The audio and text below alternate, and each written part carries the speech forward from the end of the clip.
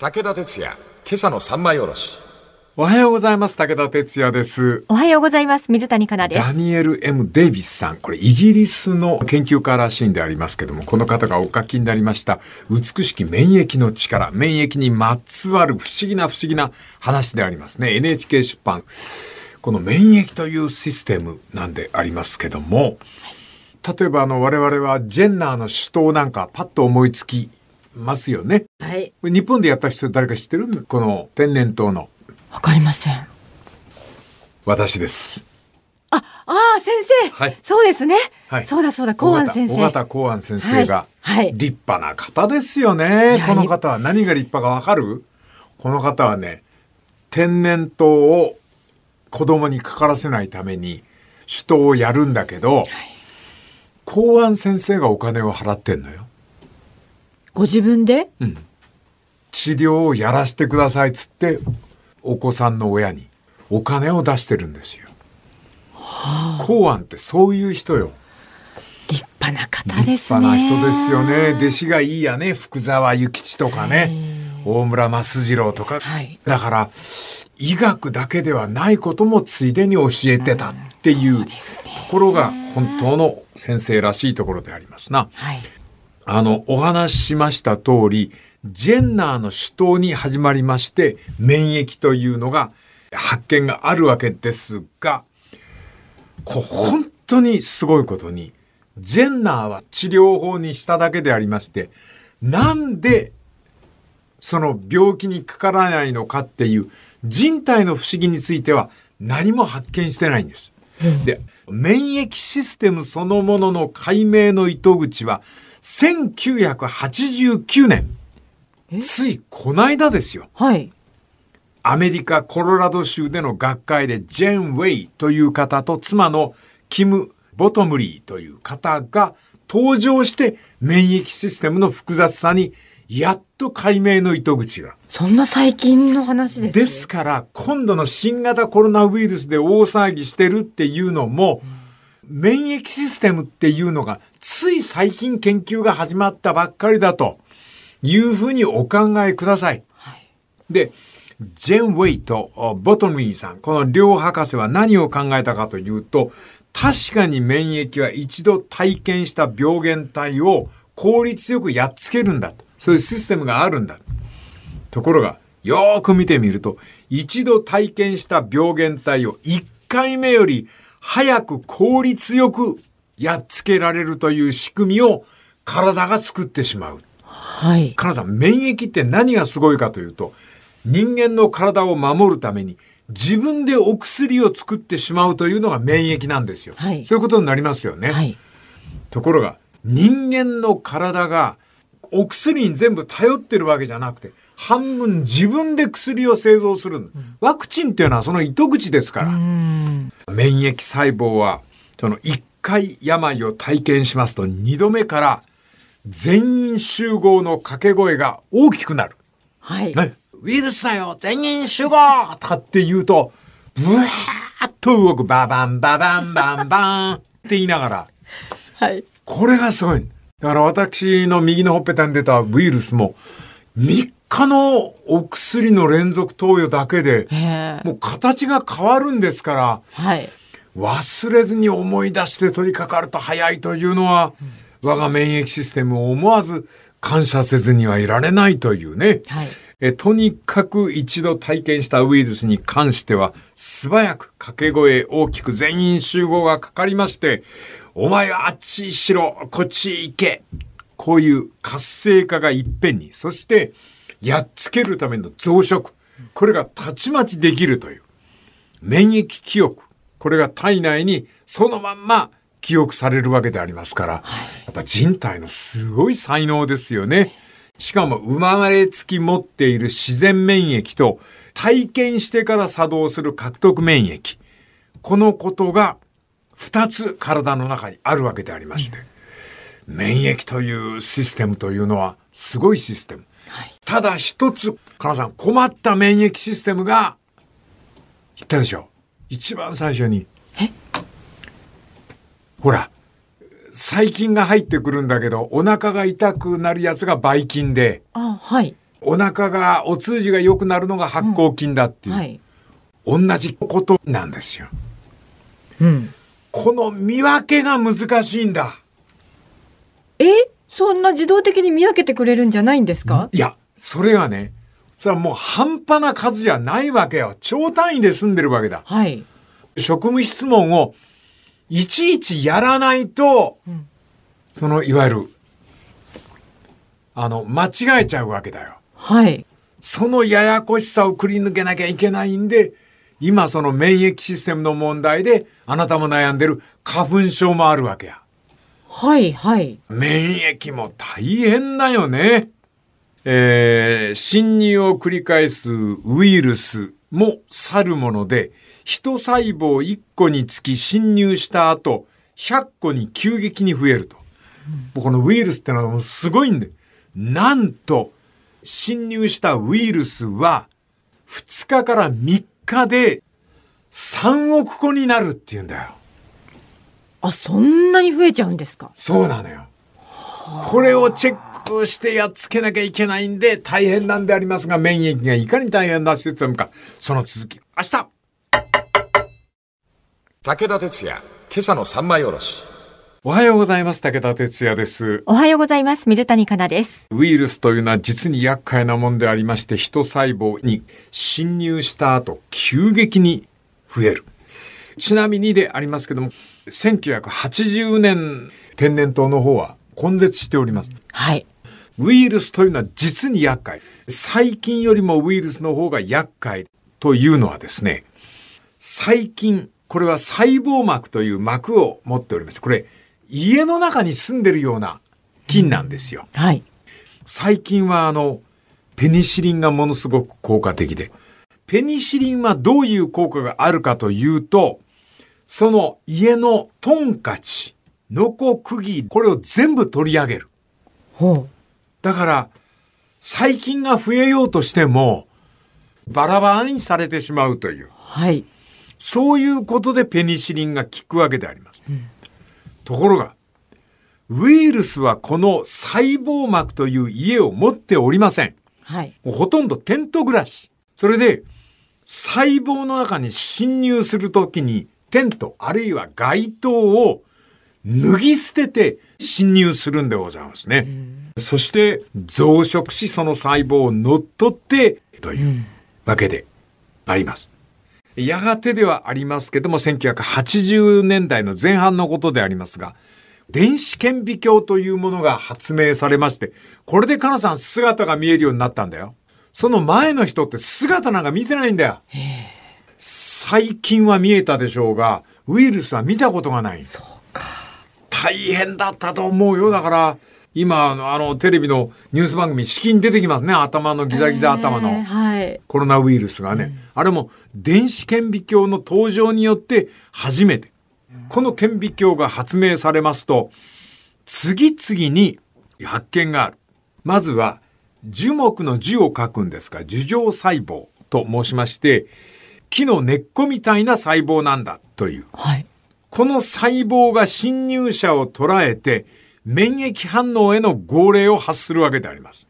ですから、この樹状細胞のことをボス細胞、石原裕次郎、ボス。ボス。それでブラインドを指で開いて、まずいな。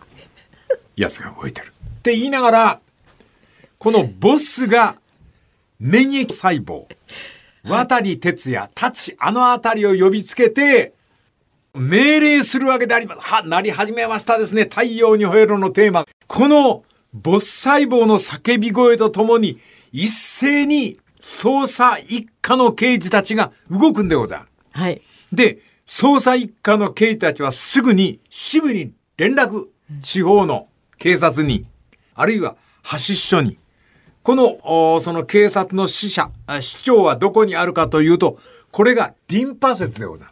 ほどこにあるか？首、脇の下、膝の裏、こういうところにリンパ腺という支部がござる。う。はい。ですから、私も右の頬が例のヘルペスで膨れ上がった時、歯茎が痛いんですよ。へえ。これ最初は歯かなと思ったんですよね。はい。これは喉にあるリンパ節が腫れるもんで口の中に異常がという。はい。で、免疫体制に入れボスが命令するわけでありますね。ですから、風邪の引き始めなんかで唾を飲むのでさえも痛いというのは、ここでブワーッと免疫反応で刑事たち、あるいは警官たちが一斉に出動するからでありまして、現場へ急行するわけであります。現場が腫れです。私のほっぺたを腫らした。あはい。あの蜂が刺したような赤く腫れ上がったのは、犯人が侵入したという、その犯行のところなんだ。はい。事件現場。はい。そこで警官とか刑事さんたちがどんな犯人がやってきたのかということで情報は連絡されて犯人のプロファイリングが始まるんです。プロファイリングに引っかかることが免疫書としてはありがたいんですね。なんでかっつああいつかってなもんでございまして。はいねところが、前科がなかった場合が厄介で、これがね、プロファイリングからやり直しなんですよ。犯人の割り出しのための。そして犯人のある程度の目星がつきますと、リンパ節、その地方の警察、あるいは交番に指名手配書が行きまして、巡査さんが巡回して回るというところが免疫反応なんであります。はい。大変なんだよ。それすごいわかりやすい表現なんですけど、うんボスとか石原軍団、太陽に吠えろみたいなのは、うんこれ本に書いてあることじゃないんですよね。本には書いてありません。イギリスの人の本が書いたので、太陽に吠えろが流れてきたっていうのはないでしょう、おそらく。デイビスも驚くと思いますが。まあいいや。とにかく、今、犯人を探すために一斉に動き出した。これが免疫なんでございますですね。この続きまた明日のまな板の上で。武田鉄矢、今朝の三枚おろし。おはようございます。武田哲也です。おはようございます。水谷香奈です。皆さんの体の中に宿っております。そして新型コロナでも大騒ぎになりましたが人間の免疫ということについて話しております。はい昨日は太陽に吠えろになぞらえまして、その免疫システムを話したんでありますが、かなさん、ややこしさはね、昨日の分かりやすい話どころじゃなくて、この先もまた大変な刑事ドラマなんだ。ではい。つまり、あの、樹状細胞という石原裕次郎みたいなボスが一人おりましてですね、これがあの、体の中にいてウイルスが入ってくると命令するんですな。その、警視庁みたいなところから、各所応答せよってやつですね。あの、あの、慎吾ちゃんがあの、タバコの殻でやってるやつですね。あの、犯人が前科のあるやつだったら、もう、行けっていう、お前が行ってこいっていう、あの、あれですよ。渡さんに命令して、行ってこいっていう。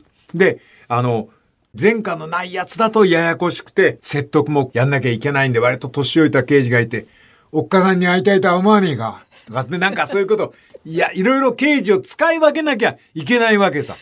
これ、やってんだよ、免疫が。はい。で、全く初犯のやつが大変なんだよ。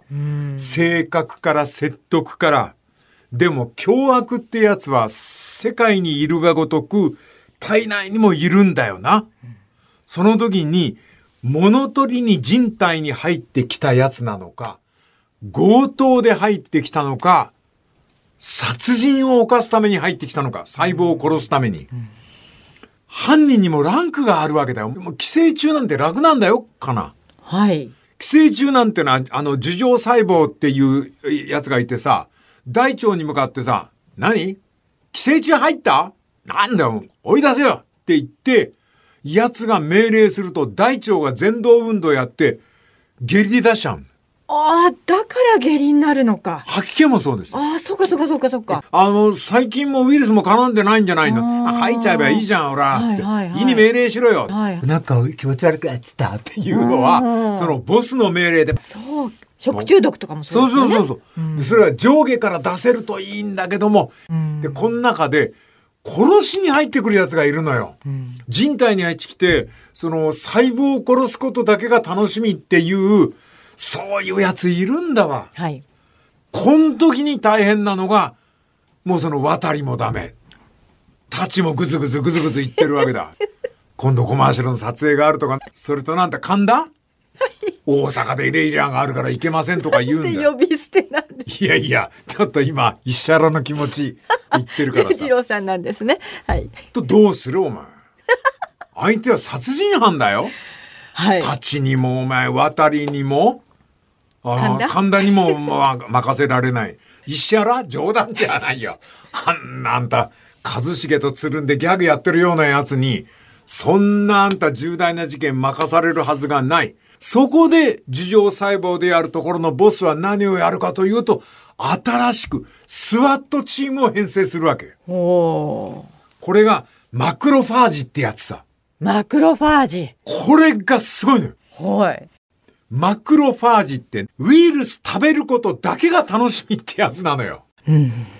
で、その部隊を編成して、マクロ、お前が行ってこいっていうの。そうするとマクロが行くわけ。こいつがもう、ウイルスに会うとひたすら食い殺すん。はい。そういう侵入してきたウイルスに対してどの刑事が向いてるかまでを樹状細胞は判断しなきゃいけない。そういうことさね。いろんな免疫反応で体はしっかり守られているわけだけども困ったことに侵入してくるウイルスがい一番厄介。なんで厄介かっていうとこいつらあのあれなんだよ。初版のやつが、前科がないんだ。奴らも死にたくないね、ウイルスを。はい人相は変えるわ、指紋は変えるわで入ってくるもんだから、あの、4月、5月の放送だったかな。あの、ウイウイルスの研究をしてる先生なんか、すごい面白い例えを言う人がいるね。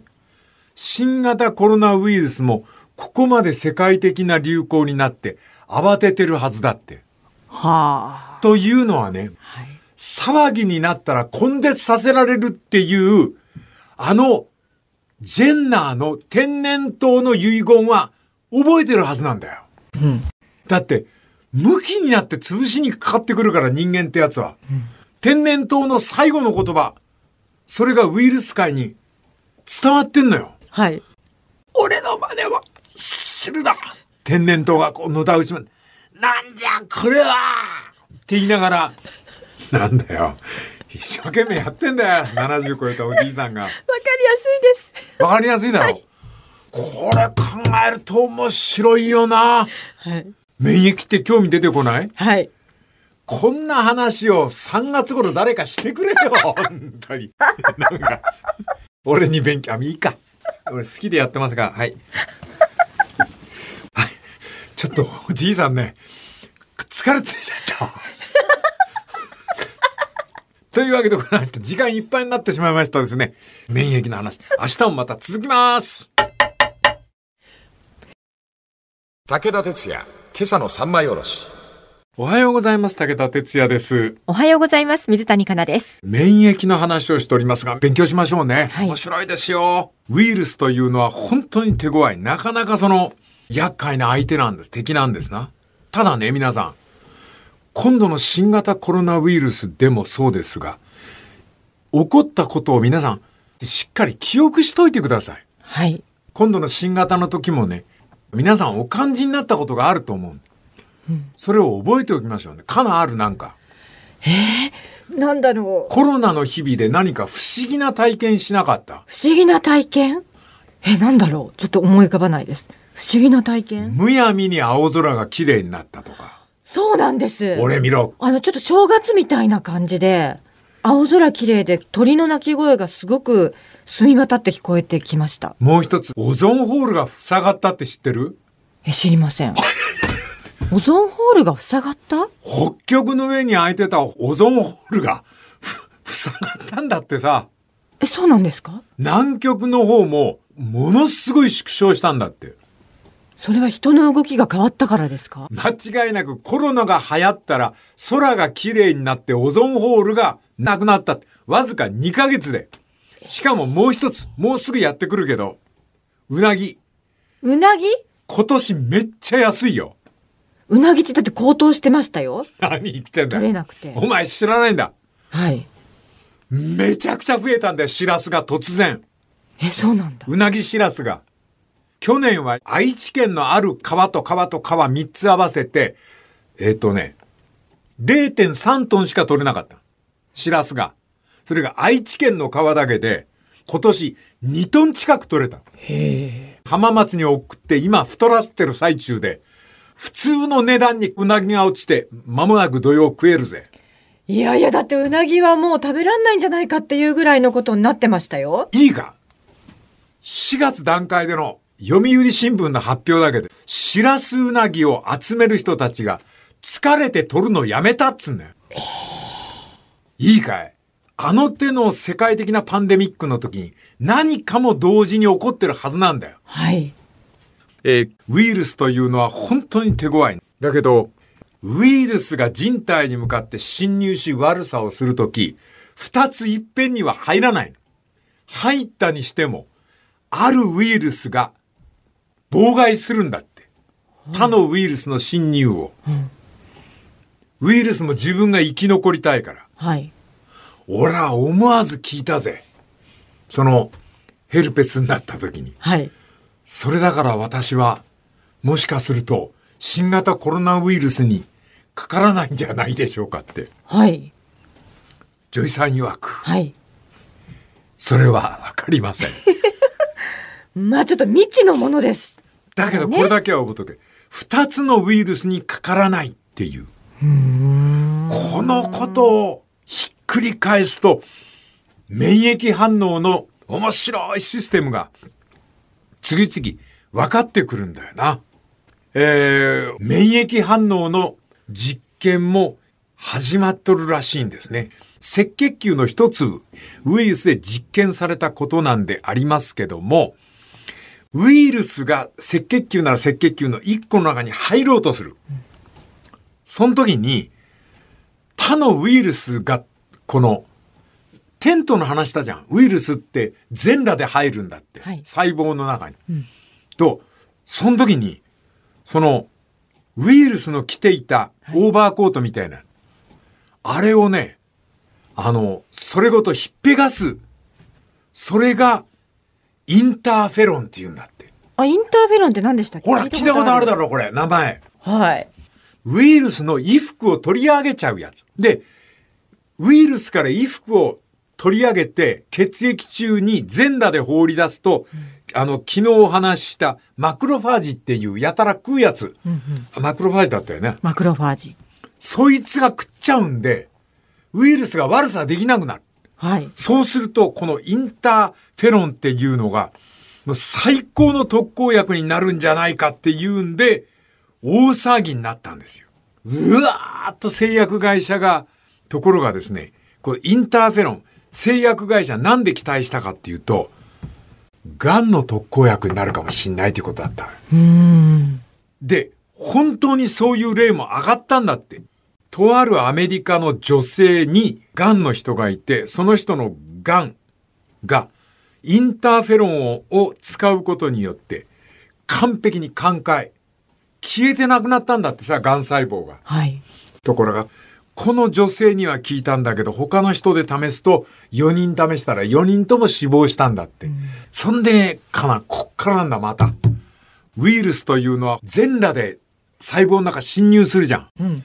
ところが、むっちゃくちゃ強引な奴がいて、はい。こいつ焼き切るんだってよ。細胞を。はい。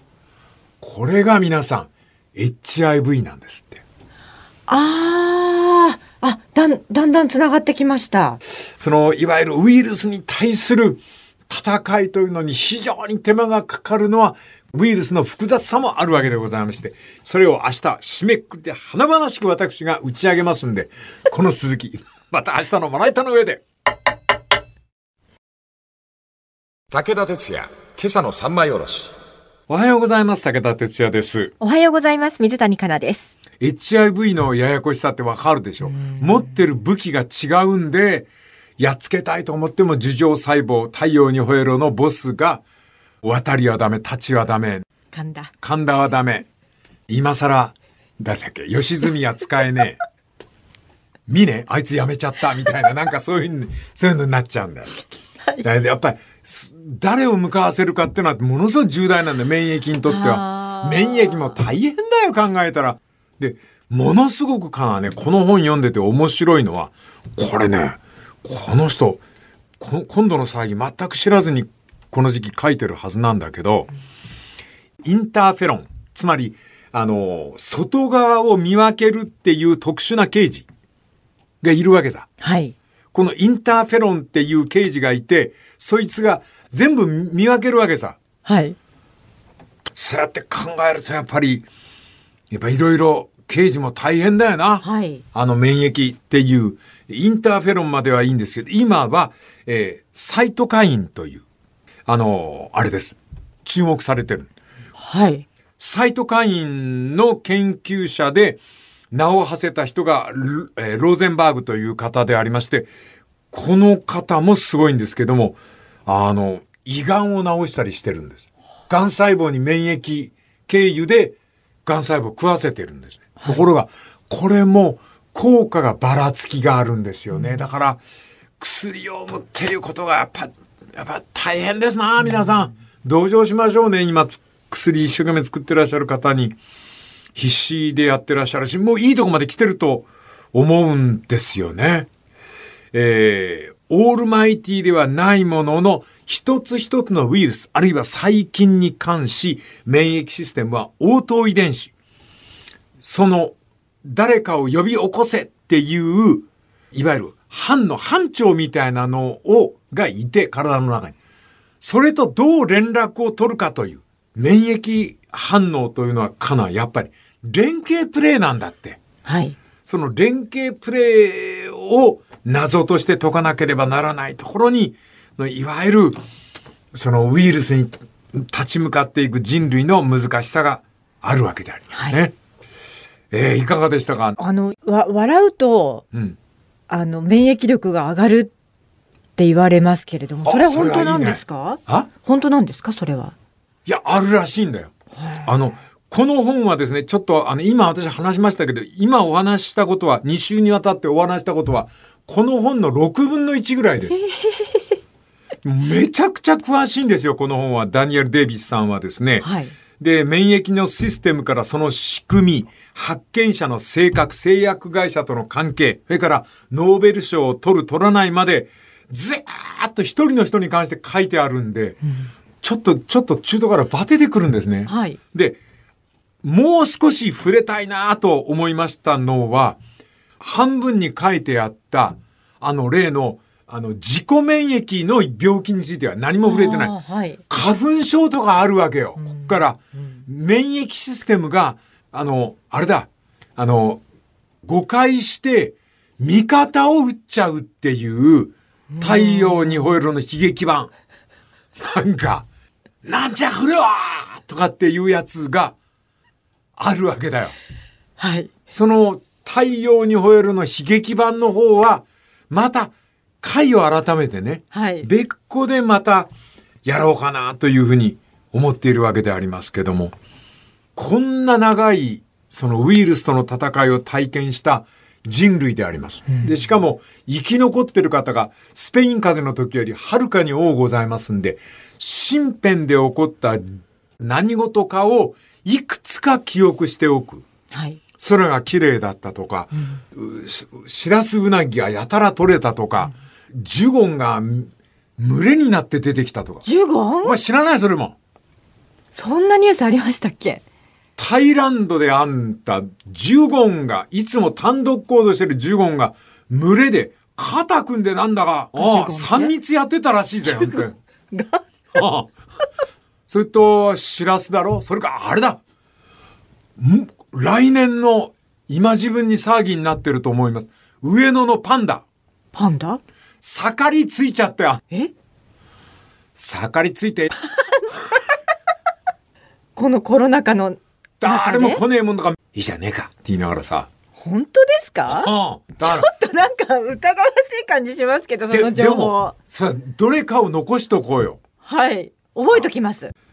だからやっぱり新型コロナウイルスっていうものが何かをもしかすると伝えに来たかもしれない。はい。そんな話をしてるときに、あの、うちの事務所の社長の伊藤ちゃんがふっと車の中で思い出した利言が、はい。まあ場所柄ちょっと控えたんだけど、俺は思い出した。声だめに落ちた子は風邪ひかない。これはね、昔皆さん、野つぼっていうのがありましてね、朝だからあんまり話しません。それに、それに落ちた子供、これ野原と間違えちゃうんですよ。同じ土色になっちゃうんで。でもね、不思議なもんで、その子はその冬、風邪ひかないっていう。声だめに落ちた子は風邪ひかない。昨日おっしゃってたまとめというのは、これです。つまり、不潔というのが、決して全て敵ではないというところが、はい。この続きまた来週別のネタで。